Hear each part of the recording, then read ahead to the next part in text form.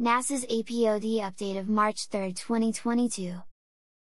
Spiral Galaxy NGC 2841. A mere 46 million light-years distant, Spiral Galaxy NGC 2841 can be found in the northern constellation of Ursa Major. This deep view of the gorgeous island universe was captured during 32 clear nights in November, December 2021 and January 2022. It shows off a striking yellow nucleus, galactic disk, and faint outer regions. Dust lanes, small star-forming regions, and young star clusters are embedded in the patchy, tightly wound spiral arms. In contrast, many other spirals exhibit grand, sweeping arms with large star-forming regions. NGC 2841 has a diameter of over 150,000 light-years, even larger than our own Milky Way.